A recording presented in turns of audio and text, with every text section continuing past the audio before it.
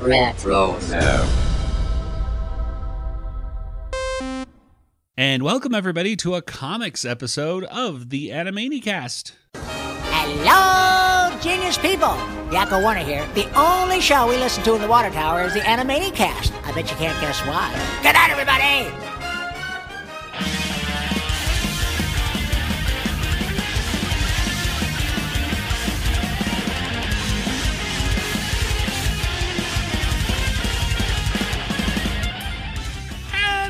Everybody once again to the Animanicast. This is the podcast that is dedicated to the animated television series Animaniacs, as well as other shows in the Rueggerverse such as Tiny Toon Adventures, Pinky the Brain, and Freakazoid.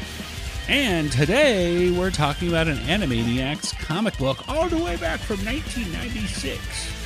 I am Joey, and joining me once again for this comic book discussion is my brother Nathan.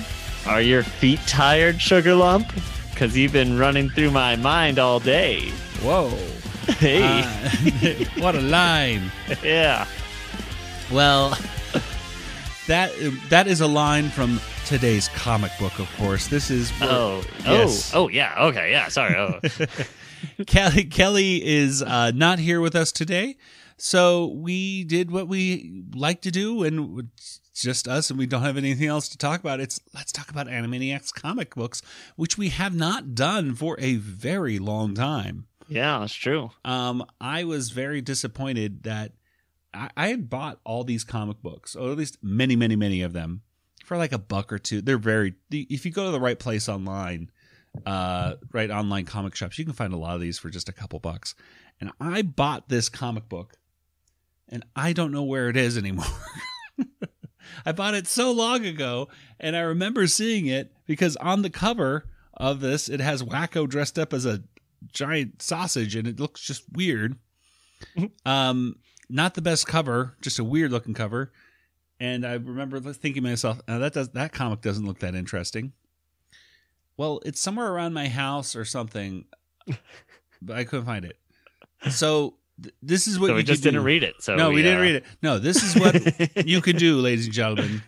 If you can't find your comic book around the house, wherever not, it happens to be, Yeah, we're not going to saying this is what you should do, but this is what you could could do. this is what we're not going to endorse this because No, well, there. Well, the Animaniacs comics are all out of print. Mm-hmm. So, uh, uh, what you could do is you if you just type in this Animaniac Animaniacs comic issue twenty, you'll probably find some websites out there that have it scanned and that you can Mhm. just flip through these pages. Um, I was a little disappointed with the scan that I had right here that. The, the person did not scan the advertisements, which come on, that's Oh, like one of the best parts of the comic book, in my opinion. I love talking about the ads. But no ad talk. This uh, no no issue. If we do find, or if I find the comic book somewhere around my house, I'll, I'll make sure to We'll do it as a bonus audio. bonus audio on Patreon. Get ready, patrons. This is bonus audio. There's an ad for Superman Yeah. comic Ooh, books. Gotcha. Quick, We're gonna, if that's not worth what do you four bucks. yeah. See, so let's. uh, at any rate, uh, th- this this com- so go you can go online. Not saying you should, but you could, or uh, you know, whatever. And uh, just be wary that the ads that you see on there are not may not kid- be. Uh, yeah. They're not kid friendly. they're, they're, the many of them are definitely not kid friendly because they're they're trying to get you to go to other uh, nefarious sites. So just be aware of that. Um, I think you, I, th- I think if you're going to share this with your kids, though, I think you can right click on these and save them as JPEGs and have a nice. But I but then you might get viruses on your computer. Look, all I'm saying is It's yeah. you're Use on, taking the risk. Yeah. We'll take the risk for you and tell you everything that's in it. So Exactly. If you want to be completely safe, then don't just listen to us talk about it. But I will tell you, folks, this was, I- I don't know, but this might be, it's been a while since we've read these comics. This might be my favorite comic of the series that we've read so far. Uh, issue number 20. Maybe. Uh, what, what were the other? There was that Egyptian one was really good, right? The Egyptian one was really good, and that was written by uh, Charles M. Howell and Gordon Bressack. So that really had uh, an, a classic Animaniacs feel. This one didn't have a Warner or a Pinky in the Brain. It did not, A- and I, and they may have at this point had their own spin-off comic. I want That's to true. It's I, possible. I want to say that it's possible that Pinky and Brain, uh, you know, went off into their own thing, and so they weren't putting them in this comic. Uh, I'm not 100 percent sure on that, but I think that's what may may have happened. Um, this issue is completely dedicated to the theme of James Dean, who uh, it's the the issue is t- it basically titled "Rebels Just Cause," in reference to "Rebel Without a Cause." Um, Nathan, have you watched any James Dean movies I've seen Rebels Without a Cause. or Rebel Without a Cause? Rebel Without a Cause. They never made the Uh, sequel, Rebels yeah. Without. A- Rebels. Well, I always think of the our brother did that song Rebels Without Applause. oh, that's a funny one. Man, they should have done that one under the. Oh, well, uh, there you go. Yeah, what Uh, a funny little thing.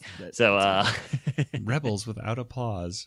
Uh, th- yeah, this one really felt um, like classic Animaniacs. Not all the jokes necessarily worked uh, a hundred percent on it, but I think maybe it was because maybe it's because of the reboot.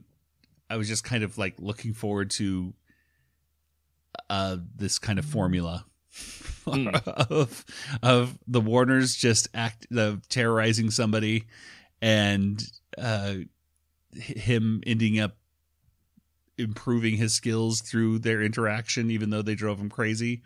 mhm. Uh, and Slappy just bombing thing, bombing Walter Wolf, and it really does have this classic feel. I, I, I was even though, like I said, not I wasn't necessarily laughing at it. it's hard to laugh at comics. Though, It is. just like reading it. It is. Yourself. It is, it, but I did make me smile, and I was amused. I was amused throughout the entire issue. So, uh, this this issue has three segments. It has Rebels Just Cause, and then it has East of Burbank, and the last segment was called Grande. Uh, these are all in reference to James Dean. Obviously, the first one we said Rebel Without a Cause, turning into Rebels Just Cause. The second one was East of Burbank, which is in reference to James Dean's movie East of Eden. And the final one, I just thought, well, it's just called Grande. Is that like what Rio Grande or what? What's that about? Well, I had to look at James Dean's Wikipedia, and it turns out he made a movie called Giant. Ah, I was like big. No, giants. So Tom was- Hanks yeah. and So yes, James Dean's. Uh, of course, he he died uh, at a young age, so his filmography is pretty short. So, unfortunately, I, not knowing anything about J- James Dean, I think some of these jokes kind of went over my head. But we're gonna try to talk about the cultural references that we we could catch. Uh, but Nathan, why don't you go? Let's go ahead and start off here with Rebels Just Cause.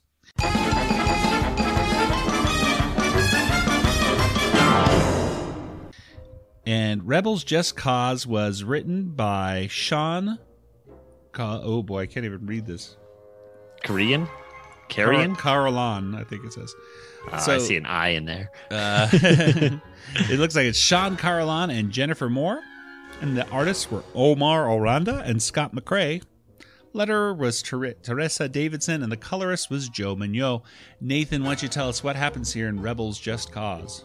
All right. Well, it starts off with a a car chase scene. I don't know if you like. This is kind of you know this is a scene straight out of Rebels Rebel Without a Cause. Uh, they have this the game of chicken where they gotta race their cars to the edge of a cliff, and uh, we have this actor who's playing this uh, the main character. Turns out to be a giant chicken himself. Um, a chicken boo. So we have chicken boo, and they find out. So they have, they have to kick the the main actor off of the set because hey, this, we can have a giant chicken playing James Dean's role. yeah, I will say that chicken. They say chicken. Well, they don't tell him chicken boo, but they say to him, "Hey, we're gonna race to the edge of this cliff, and then you got to jump out at the very last minute." Uh, so it show. It doesn't really show how he jumped out, but it does show this like kind of jumping lines of kind of boing boing boing, boing boing boing, and then it's- and his hair falls off. But Chicken Boo does like a great you know landing where on his feet, almost like a gymnast or something. It almost looked like he just was standing. I, I'm not. Ex- it didn't quite work. They had to do a little bit of a mental uh, fill in the blank on that that frame right there. But anyway, so Chicken Boo's kicked out. Yeah, it's too bad. Uh, What else is new? uh, so they had to find a new actor, and uh, the director's like, "Oh, I got to find someone like right away. We're we going to find a brooding American teen archetype." And hey, wouldn't you know, at the local uh, ice cream shop or whatever, there's uh, James Dean himself uh, is having some ice cream, and uh, the director gives him the role, and he walks up to his car, and the Warners are inside the hood, and they heard that there was a giant chicken playing a, the lead in this movie, and they wanted to check it out for themselves. And James Dean's like, "Don't call me chicken," you know, as a James Dean kind of thing. And uh, Dot is uh, in love with James Dean because he's so handsome and brooding. Uh, and Wakko just wants something to eat because he's so hungry. Uh, so he thinks maybe James Dean is a giant chicken, so maybe Yeah. I can eat him. Yeah, he talks about wanting to find Chicken Boo so he could eat him, uh, which is kind of sick and twisted, but funny Yep. uh, for some reason because and Wakko. Maybe that James Dean is Chicken Boo himself. The, the whole time he just keeps calling Yeah. James Dean chicken. He keeps and, jumping out of places and saying chicken. and um, throwing rolls at him and trying to eat him, I guess. Yeah. Uh, meanwhile, as uh, they go to different locations that are in the actual movie uh, Rebel Without a Cause, uh, Yakko keeps explaining to us the archetypes that are showing, like, oh, this is the house where a brooding teen, a juvenile delinquent would be uh, formed in this kind of location. And and this is the kind of location a, ju- a juvenile delinquent would hide with his friends and this uh, abandoned house and things like that. So, yes. uh, and going to the police uh, uh, uh, office or whatever. I've, I've I've never seen Rebel Without a Cause, but I did see a lot of kind of teen drama movies from the 50s and 60s whenever they were on like Mystery Science Theater or something. Like Mhm.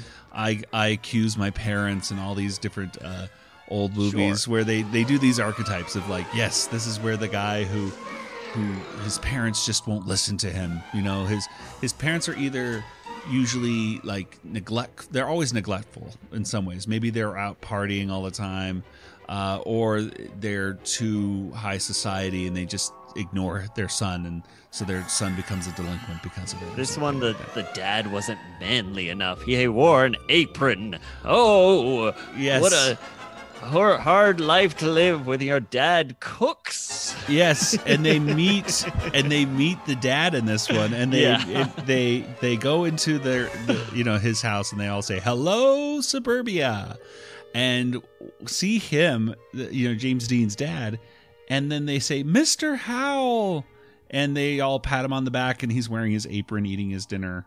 Uh, and they're saying like you know take us for a ride in your coconut car and uh, you know take us to a fancy don uh, d- dinner party with Don Knotts. Yeah, Which is Don Knotts in Rebel Without a Cause? I not don't that know. I know of. I know. Um, I've, I, unless he's like in the background, but I'm Well- gonna say he's not.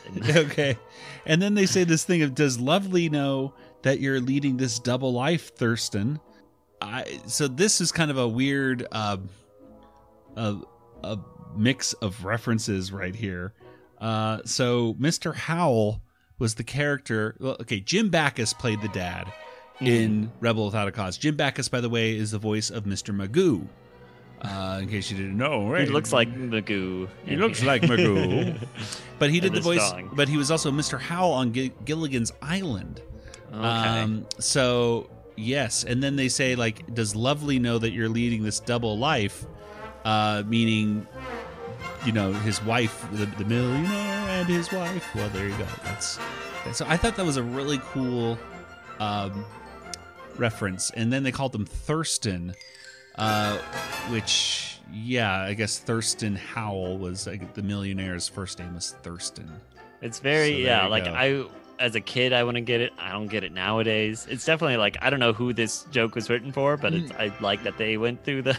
exactly and that's the th- and that's what i really get the impression of throughout this entire comic is that the writers were having fun writing this comic Yeah. book and you and I, even though i didn't get all the stuff of this i was like well this is fun you guys know what you're talking about and you're having fun writing this story and i'm in for the ride and i'll hopefully get some of these references along the way I didn't. Yeah, it's definitely they had seen this movie a lot. Like they, they're Oh. definitely like fans or you know of Rebel Without a Cause. and like- before i mean in 1996 this this came out in december of 1996 there's Yeah. absolutely no way i would have been able to get all this stuff uh, this would be a comic Well, book i would have to show yeah. my dad or something go dad do you know what you're talking about right here true. that our dad was our wikipedia page back in the day um but yeah uh, this is uh but anyway, I think let's let's get back to the thing that was going on a sidetrack right there. on one of the highlights of the comic for me at that moment.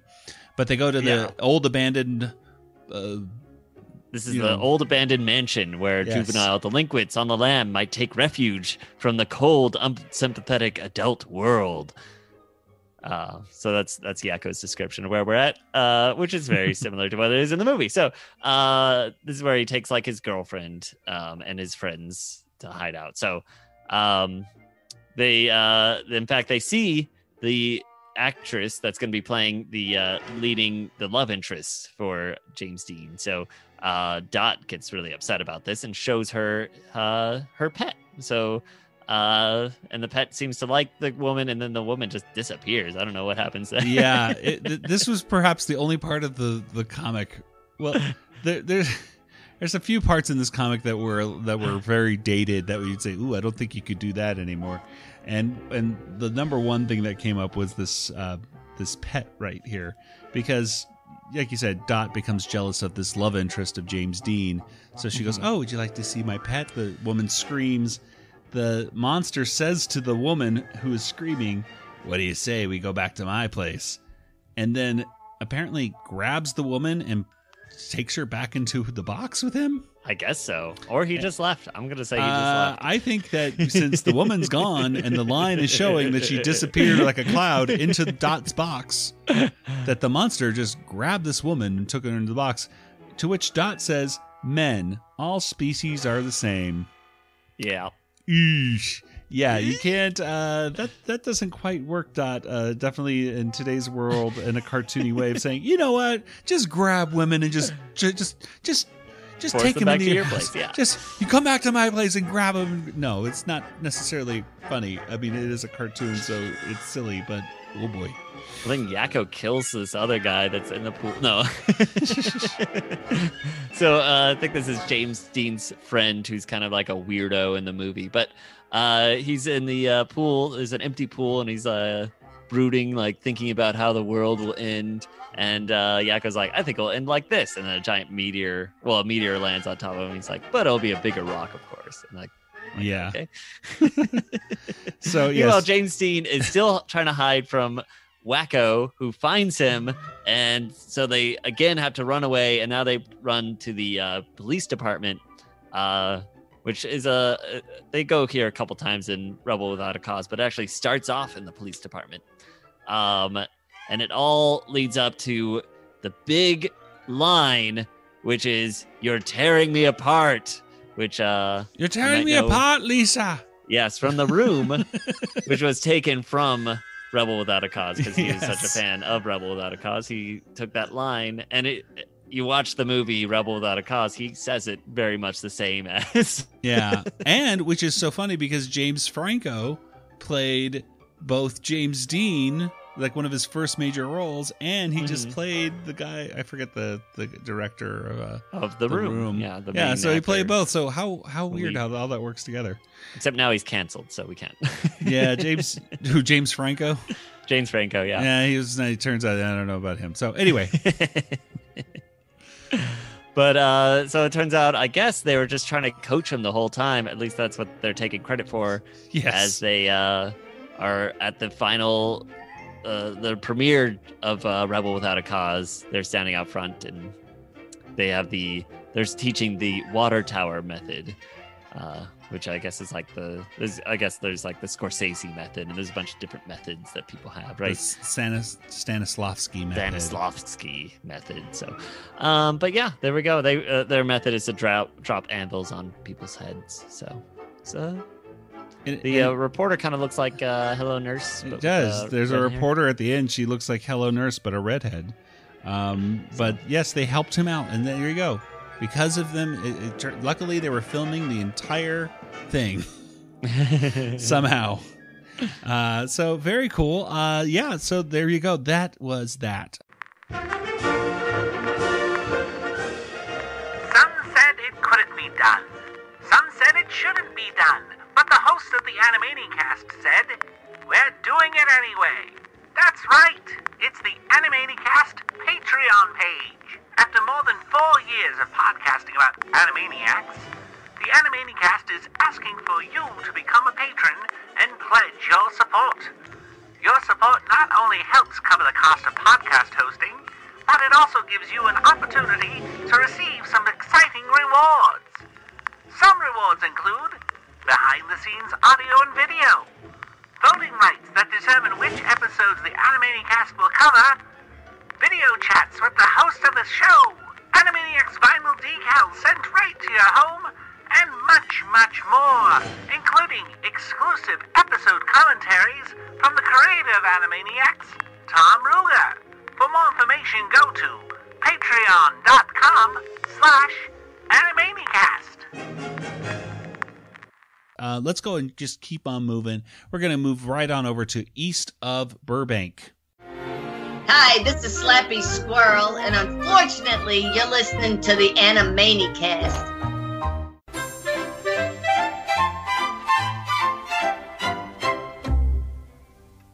And east of Burbank was written by Sean Carolan and Jennifer Moore once again. Le- Leonardo Batic and Scott McCrae did the uh, illustrations. It was lettered by Teresa Davidson and colored by Joe Monod once again. And this is a slappy squirrel cartoon, and this is taking place in Pasadena, 14 miles east of Burbank. Very cool, 1955. So we're we're still in this time period. This, however, is dealing with James Dean once again, and I think they even call him James in this one. Uh, although they, you know, did draw him a little bit differently and colored his hair a little bit differently. Basically, what happens here is Skippy's watching Beany and Cecil, and uh, and they look exactly like Beany and Cecil. It's very much on on uh, model right there. And the power goes out because Slappy just has decided to stop paying her electric bill for three months. So she's in a good mood. So she figures, you know what? I guess I'll go and pay him. But she needs money, so she decides to become an actress to portray Kate a shady, embittered old crank. Uh, and so she's like, oh, I think it'll be a reach, but she thinks she can pull it off. Yeah. Uh, so she goes to the set, and it turns out that they're kind of like, I guess, screen testing some people. One of which is James Dean, who has his nice little, you know, pompadour going on, but the other one is Walter Wolf, who is also trying to get this lead role and is dressed like James Dean, which looks very weird. But he sees Slappy and says, Hey, this is great. I might get the lead role and take care of Slappy at the same time. So perfect. I think he's too old for this part. I think, you know what? He's. he, he he really gets in character. Um, he probably lied on his uh, on his uh, you know shot or something like that, saying he's you know that's mean, how he looks- actors do. yeah, uh, some of these like Slappy looks a lot younger, and uh, Walter Wolf will look a lot younger than their old selves. So it's he still does have his little wrinkles around the mouth to kind of like show like the, the lack of teeth or something but Yeah. uh but you know whatever he's Whatever. he's he's trying he's an actor he's an actor he can act he can act like a yeah. teenager uh so anyway there's there's a I, what i can only assume are scenes from east of eden neither Just- of us have seen this movie. Yes. so- just kind of acted out once again. Um, the the one right here is the, the director who is this really kind of neat caricature. I have no idea if he's an actual caricature of the real director or not. But there's this scene where uh, Walter's gonna give her the bank book uh, from the prop table. So he gives her like a, a bank book, and then she takes it.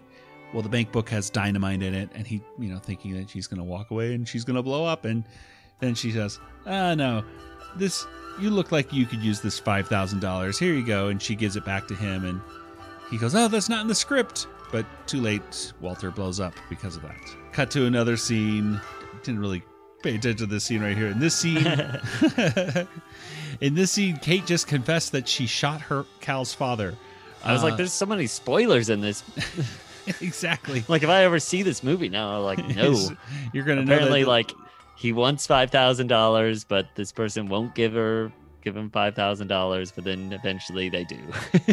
Exactly. So she says, uh, so she says, open up the safe and go get the the money. He says, no, you're supposed to open the safe and give me the money. You go, you sure, Walter? It seems that you know it doesn't seem in character for this old gal. Uh, it's in the script for crying out loud. Look, you just walk over here to the safe, and of course, there's more dynamite in the safe, and it blows Walter's face up.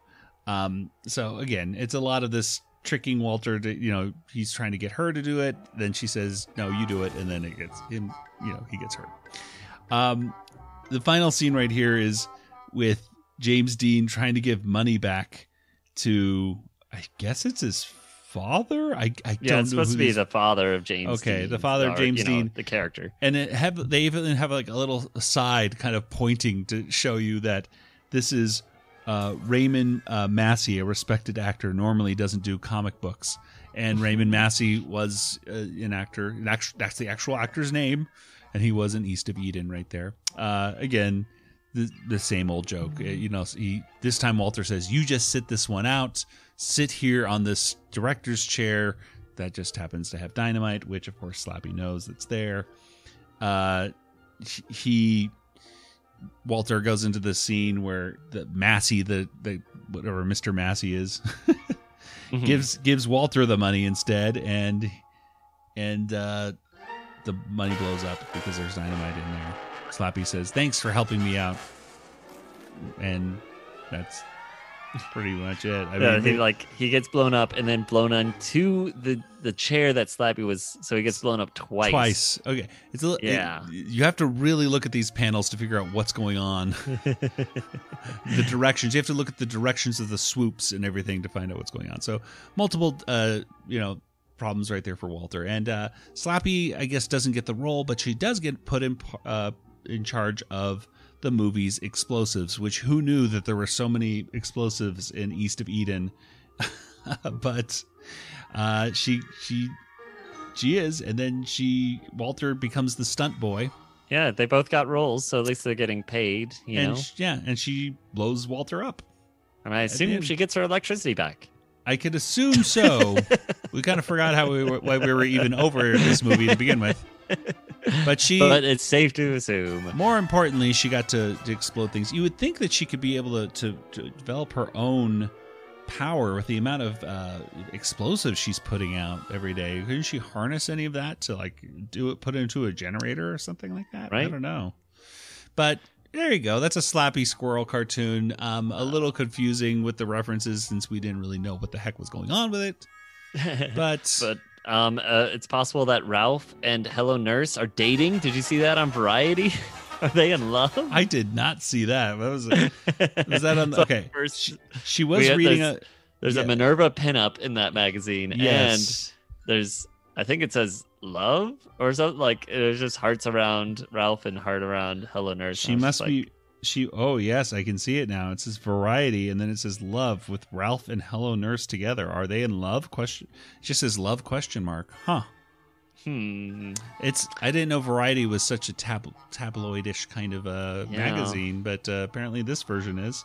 And so we got a, there's a cameo of uh Pinky and the Brain in one of There- these panels. The one I thought it was the, I thought that was the last story. No, they're they're also in this one. So if you look on the panel where Walter Wolf explodes twice, I see him. they're in the little tiny little corner. So just What a little. I went back just now because I only saw them just now. I didn't see them the first time I went through this. And and the brain is wearing some weird little hat. Looks I- like a Sherlock Holmes almost. But See, I- I'm wondering I didn't if spot him in one Rebel Without a Cause. I looked through there. I didn't see him, but I'm wondering Or- if this has any reference to what's going on in the Pinky the Brain comic book. Yeah, at the maybe. Same time, because they seem to be doing this a lot in the comics. When you start putting them together, especially with Pinky and the Brain, that they're they're referencing things that would happen in other issues of the comic book. So maybe we need to start doing uh taking turns in between them. Maybe, yeah, maybe. Well, we'll see. We'll see. We'll.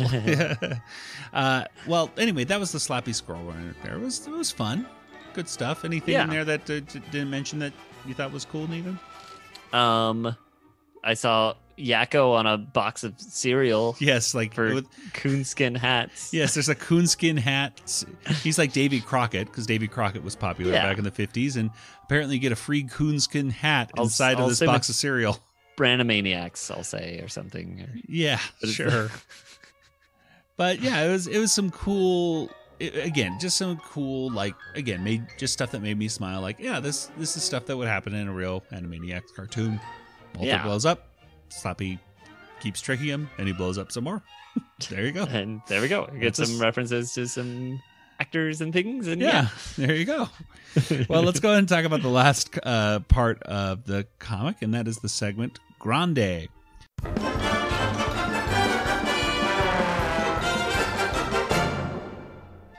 And Grande was once again written by Sean Carolan and Jennifer Moore. Omar Aranda was the penciler, Scott McRae was the inker, letterer Teresa Davidson, and the colorist was Jerome Yunker. Ooh, not Joe Mignot on this one. Uh, Nathan, why don't you tell us what happens here in Grande? Ah, taco. Grande.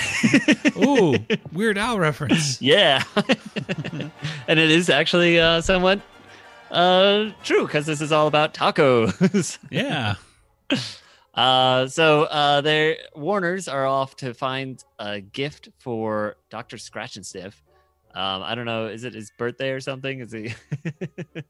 Yeah, something uh, for some reason just uh, it's Bald Psychiatrist Day. Is the so they're, they're Oh, off okay. to shop for him for the last minute. It's just you know it's the holiday that we all love, Bald Psychiatrist Day. I'm guessing it's just his birthday. yeah, That's what they call it. yeah. He needs he.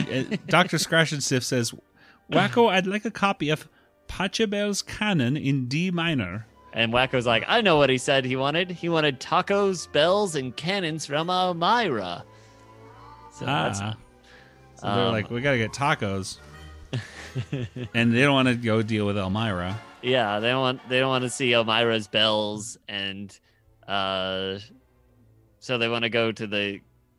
Well, I don't know what the Canon Imperium is. So that like that's where they have lots of the Canon Emporium is where they would have lots of cannons, I guess, too. So they're just gonna get them tacos. Yeah, let's just start Um, with tacos because that's the easiest, I guess. Yeah, and they they see a place that just happens to be here. It's called Manny's Tacopolis, uh, and so they and there's a long line, and they're talking in the line, and someone's like, uh, "Hey, uh, you can't be talking in line. Uh, don't you know who uh, runs this place? It's the Taco Tyrant." And he comes over and sees this guy talking and says, "No tacos for you," and kicks him Ah. out of the line. It's a So- reference to Seinfeld. The soup instead of the soup Nazi, it's the taco, the Taco tyrant. Tyrant. Yeah, which which, is- Yeah, it wasn't an alliteration before, so now it is though. yeah, it works good. So taco tyrant.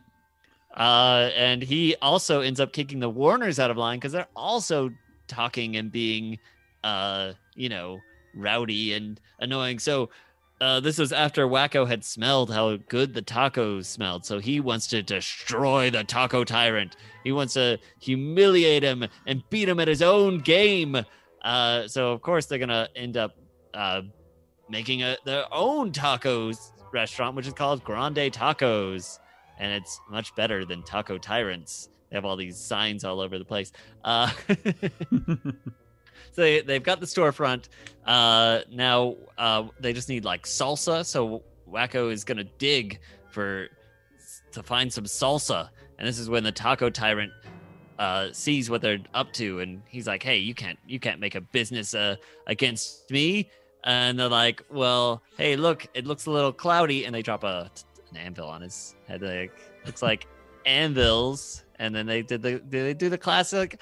Uh, this means Warner's kind of thing. So Yeah, I mean, yeah, it's kind of weird. Uh, obviously, Taco Tyrant's upset about all this, so he decides to sabotage the Warners by uh, pouring water all over their taco shells. But the tacos have, well, the tacos are sen- they have sensors all over them, uh, and the Warners are watching all these, and they say, "Oh, there's a moisture breach in Vault 2. So they they uh, set up the emergency crisp- crisperizer device, which of course is just a you know fire. Uh, and the uh, taco tyrant is still in the room, getting them all wet, so he ends up burning up. It's pretty bad.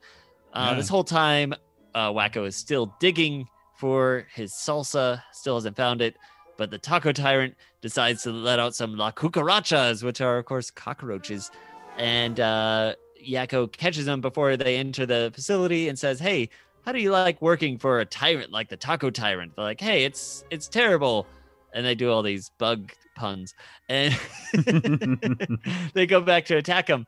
And They uh, unionize. yeah, there's a union of of uh, cockroaches, and they they they basically quit. Um, uh, and I guess they go get some ice cream. I I didn't realize that was them saying, "Look, an ice cream truck." I was just like, oh, some random people are saying, "Look, an ice yeah, I, I didn't get that either. Okay, good. Good that we know that this is those are supposed to cockroaches. All right, but uh, this is when he sees the line of people standing, waiting to get into Taco Gra- Grande's or whatever it's called, the Warner's Taco Restaurant, and they're like, "Oh, he's he's saying you you don't want their tacos, even if it's tacos on sticks. Uh, they're unsanitary. They're made by things, uh, which I guess are the Warners because they're just they're cute. They're they're not things. No, uh, uh, uh, but he's like unsanitary. Uh, you're one to talk. You you have uh mice for fry cooks, and we look over, pan over, and it turns out the Pinky and the Brain are the ones that are they're trying to make an atomic bean dip, uh, to take over the world. And I guess Pinky's just making guacamole, but Yeah, with his feet, I guess. I don't know if he yeah, was that's like really gross. It's on, it's on his feet. Yeah, I'm but- guessing he was like smashing it like a wine, making wine. Yeah, So there you go. Uh, and then the Taco Tyrants had it enough. He's decided to throw dynamite at the Warners, but that's when Wakko's like, "Oh, that's what I just what I needed." So he throws it at his hole that he was digging, and then wouldn't you know it, salsa comes out, and they've hit, they've struck salsa.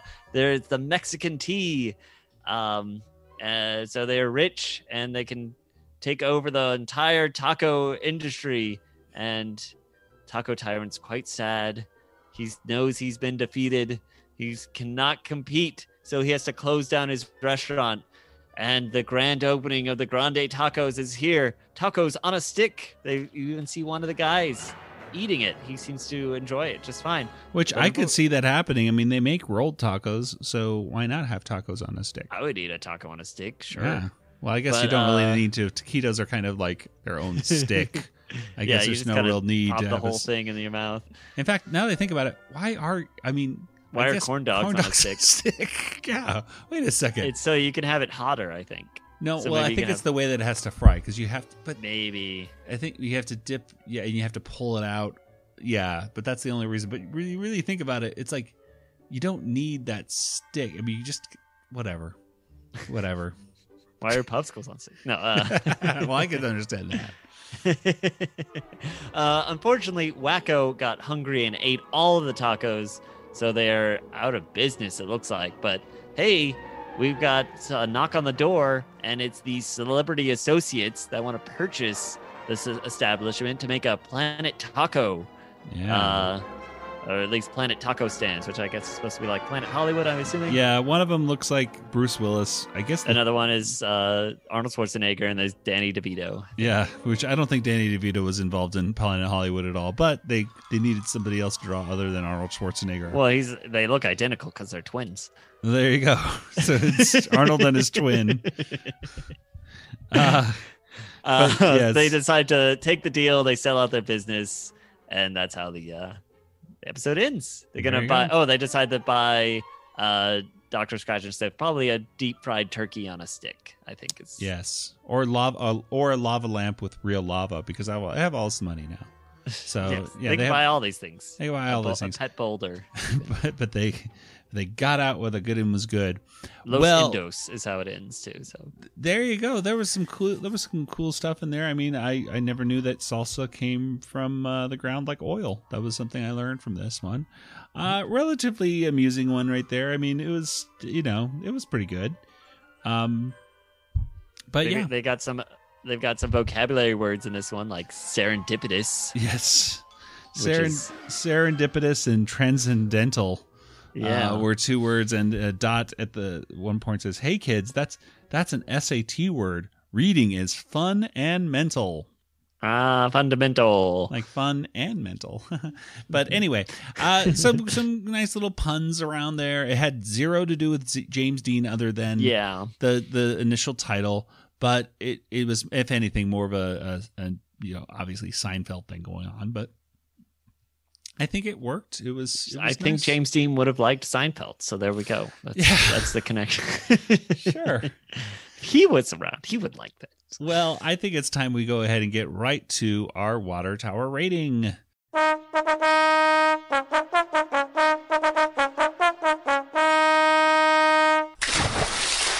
Well, Nathan, what do you think out of five water towers? How many would you give this issue of the Animaniacs comic book? It's so long since we did. I know. I totally forgot the other ones I gave.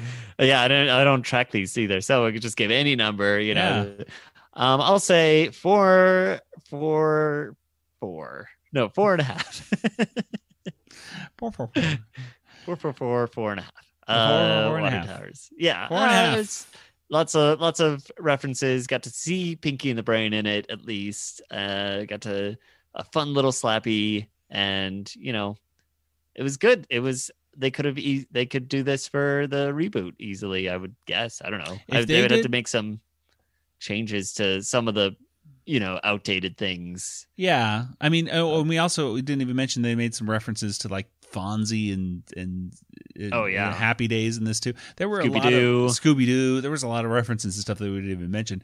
But yeah, it was it it really I did feel the same kind of thing. I'll give it four and a half as well because I think that if this was an issue, if this if they just took this stuff and they modified it a little bit and put it into the the new show, I would be like, wow, this is like a real classic episode of Animaniacs. Um, it had a theme throughout for the most part, you know. Yeah. Um, and it was funny. It just felt like classic kind of stuff. And did it work all the time? Not necessarily, but it is a comic book, and you Yeah, know, we might like you would have to take out Dot pulling down James Dean James Dean's pants. yeah, she did. she like just pulled down his pants at some point, and and it says, you know, hey kids, He's- don't try this at home, basically, or something. She's a Uh, professional manhandler. And yeah, like, which "Yeah." yeah, you can't you can't pull down the guy's pants as you're like hugging his knees. So there, and of course, like the monster grabbing the woman and putting yeah, her exactly. into the box. Definitely not. Yeah, you can't do So that stuff. definitely things had to go, but this was a better uh, cameo of uh, Chicken Boo than what the reboot. Totally. it really felt like us. This is Chicken Boo. He'd be doing this. So Yeah, I mean, just- everybody felt in character. Everything felt right. It it it just felt good. So I liked it a lot. It was a lot of fun. The cover wasn't the best. Other than that, yeah, uh, which I should also mention. I don't know what the hot dog has to do, but uh, you know, uh, they're they're kind of dressed up like James Dean characters as well. Uh, I'm sure on the there's some the down home sausage. So I wonder if there's something. Yeah, Dot's If someone dressed- a huge, Dot's the troubled youth from Rebel Without a Cause. Yakko is the oil tycoon, which I'm assuming is from the movie Giant. And East of Eden, the down home sausage. I have zero idea what Wakko uh, James. Oh, wait. I Got get it? it? now. Jimmy Dean. Ah, the sausage. See, this is why we need to talk it out. Yeah, that's why I was like, let's let's just talk it real quick. I'm guessing like the listener would be like already yelling at us. You know, It's Jimmy Dean sausage. Jeans, obviously. I'm eating one right now. okay. Okay. Uh, well, at any rate, that I I mean, there even more reason four and a very strong four and a half, almost a five. I mean, but this is about as good as it gets when it comes to Animaniacs comic books. I think Mhm. uh, it's really good. Highly suggest people check it out. And uh, let's go ahead and get to some contact information. Uh, Nathan, where can people get in contact with you online? Oh, Joey, I'm on Twitter, Django FT. That's me. All right. As for the Animanicast, we're on Twitter and Facebook and Instagram. And over on our Patreon, you can become a patron and listen to some exclusive audio, including commentaries with Tom Ruegger about every episode of Animaniacs. We're going through them, and it's a ton of fun. We're laughing and learning facts, and uh, you'll not only be getting access to those, but you'll be helping support our show as well, uh, which is amazing. So thank you to our patrons. Uh, you can also get in contact with us on Discord. You can join the RetroZap Discord server by getting the welcome link, which is discord.animanicast.com That'll take you on over to the RetroZap Discord server. We're a proud member of the RetroZap Podcast Network, so you can talk to them about anything pop culture, or you can go to the Animaniacs section and talk about Animaniacs, where there's some great artists and just great people there to talk to. Well, that'll do it for today's episode. So, for Nathan, this is Joey saying good night, everybody. Good night, everybody.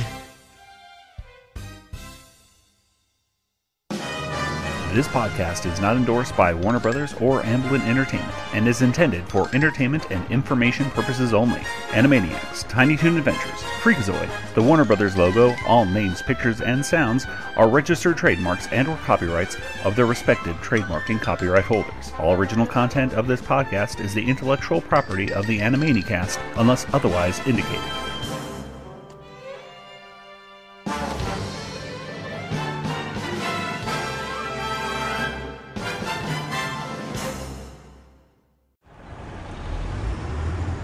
Do do do do. Hey, look at this. I got four dollars in my pocket. Well, what should I do with it? Oh, hmm, can't think of anything. I might as well just throw it in the street. Whoop. Hey, hey, hey, what are you doing? What? You can't just throw away money like that. There's a lot of things you could do with four bucks. Like what? Well, like, uh, hey, you could become a patron over at patreon.com slash animanicast. What? That's right. You know what you could do? You could get a, a, a great uh, commentary series with uh, the creative Animaniacs, uh, Tom Ruegger. Oh, really? For four dollars? Yep, just for four dollars a month, you can become a patron and get all that commentary right there. Oh, wow. What, if I only have a dollar? Well, you could become a patron. And just say, "Hey, here you go, Animanicast." Oh, well, that's pretty cool. What, what if I have more than four dollars? Well, then you can give. You, there's other tiers and stuff you can do if you want to. But you know, there's a lot of cool stuff, and it's a great way to support the show and all that jazz. And more importantly, you're getting the creative commentary series with Tom Ruegger, so you can watch Animaniacs and uh, learn stuff and have fun and do stuff. I don't know. Just do that instead. You know what? You're right. I will not throw my four dollars in the street right now. I'm going to patreon.com slash animanicast right now.